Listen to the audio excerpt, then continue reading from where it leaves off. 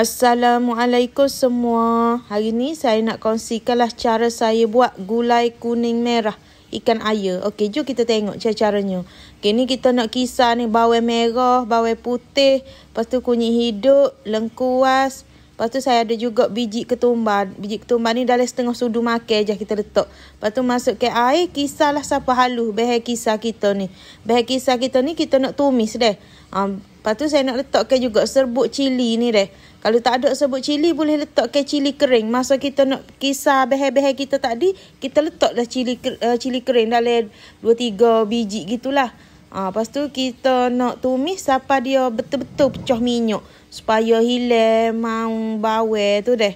Ha, pastikan dia betul-betul pecah minyak lah. Biasa gula kuning gini ada orang tak tumis. Ha, tapi kali ni kita buat versi hot tumis. Sebab kita nak buat orang kata dia kuah pekat gitu. Ha, gula kuning merah. Ha, ni bila dah kata pecah minyak molek dah ni. Ha, nampak deh. Ha, kita masuk ke air. Air ni jangan masuk ke banyak lah. Yang sebab kita nak buat dia pekat kalau masuk ke air banyak jadi cair pula kuah kita tu. Ha, ni kita masuk ke santan. Hari ni saya guna santan kotak dah. Santan kotak kecil sekali lah dalam 200 ml. Ha, lepas tu kita kacau sebati kita biarkan dia mendidih. Uh, kalau nak buat gula ni kalau lagi lama kita masak dia payah basi gula kita. Ha tu saya biarkan santan kita ni dia mendidih. Kalau guna santan segar dia lagi comel deh. Dia akan keluar minyak tu comel.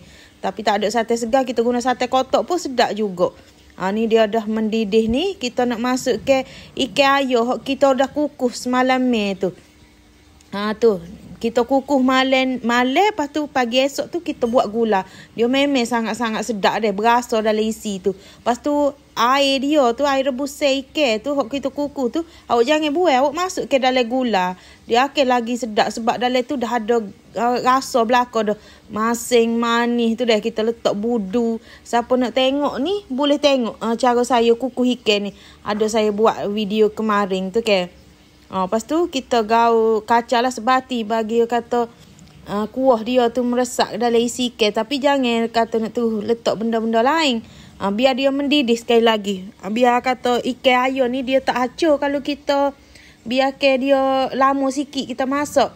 Ha, tu dia dah mendidih tu saya nak masuk ke kan, uh, kaca deh dengan lado.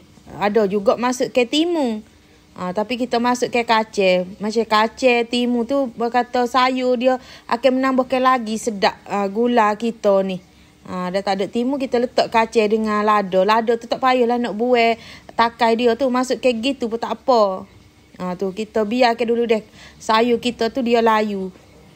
Ha, ni gula kuning kita ni orang kata dah betul-betul masuk lah nampak dak kuah dia ni pekat lepas tu kita tak tambah dah garam gula sebab dalam kukus tu dah cukup rasa dah. Tapi kalau bagi yang nak rasa macam kata kurang masing ke kurang manis kau awak boleh tambah sendiri deh.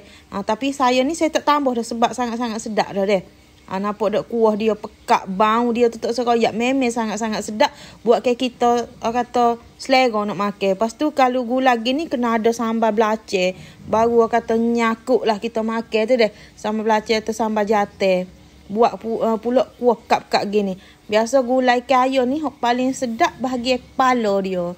Ha, kalau di kedai uh, di Kelantan lah kalau orang jual nasi belauk ni mau kata kepala ikan ni ramai lah peminta air dia. Ha, kalau tamu-tamu orang tua sukalah makan kepala ikan ayam ni. Okeylah, pada yang dah menonton video saya ni, saya harap jangan lupa subscribe, like, komen dan share video saya. Okey, terima kasih semua.